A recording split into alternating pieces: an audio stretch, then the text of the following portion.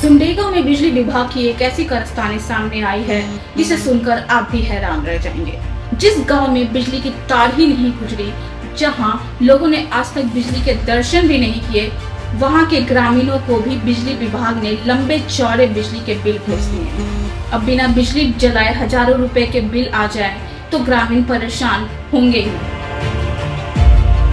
दरअसल सिमडेगा के बानू प्रखंड के सोय पंचायत एला पथरा टोली गाँव में आज़ादी के बाद आज तक बिजली का कनेक्शन नहीं पहुँचा है।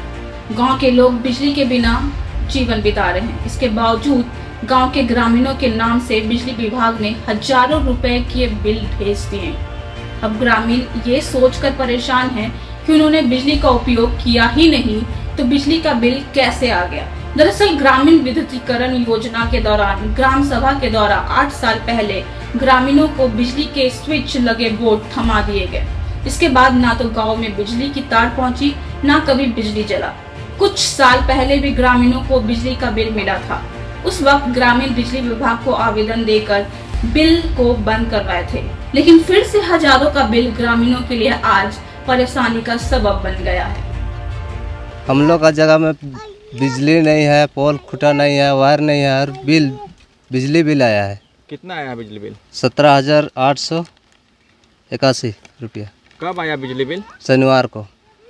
किनके द्वारा प्राप्त हुआ आपको बिजली बिल? ग्राम सभा का सचिव द्वारा। सचिव द्वारा। जी। गाँव में तार पहले लगा हुआ था? नहीं। कभी भी नहीं? नहीं एक भी नहीं। गाँव घर में मीटर उटर भी डाल दिया कुछ क्या? वहाँ से मतलब ग्राम सभा से पहले मिला था ना? हाँ।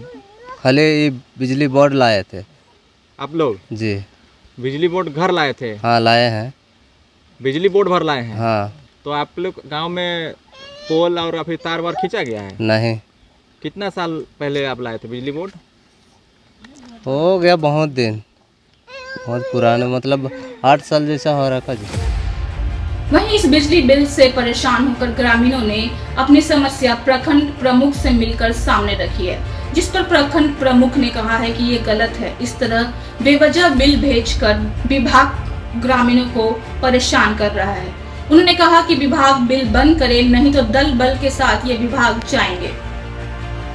कुछ दिन पहले सोई पंचायत के ग्रामीण मेरे ऑफ़िस में आए हुए थे। उन्होंने बिजली के विषय में एक दो बातें जो ज़रूरी थी, उन्होंने बताई कि बिजली विभाग एला पतरा टोली वाले ग्रामीणों को, जिनके पास ना बिजली का तार है, ना बिजली से संबंधित और कोई अन्य चीज़ें इस पर भी उनका बिजली बिल लगातार आता जा रहा है और किसी किसी का इतना ज़्यादा आ गया कि तीस हज़ार से पार।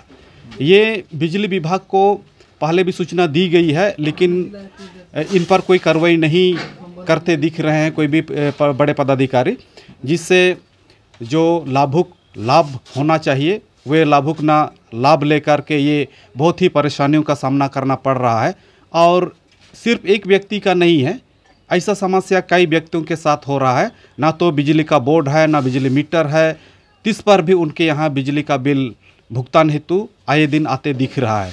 ऐसी परिस्थिति में विभाग के साथ मिलकर जनप्रतिनिधियों की अगुवाई में उचित कार्रवाई होनी चाहिए और जो जेनविन काम का जेनविन फल भी दिखना चाहिए और जिनके पास अभी बिजली का कोई तार नहीं है, कोई संबंध नहीं है उनके पास जो बिल आ रहा है, उनको यथाशीघ्र हटा देना चाहिए। गाँव में बिजली कनेक्शन नहीं, फिर भी बिजली बिल पहुँच रहा है। ऐसे में ग्रामीण को परेशान होना लाजमी है। अब देखना दिलचस्प होगा कि बिजली विभाग इस गलत फहमी को कैसे दूर करती है, इस गलती को कैसे सुधारती है। सिमडेगा से संवाददाता अमन मिश्रा के साथ 99 न्यूज़ की ब्यूरो रिपोर्ट।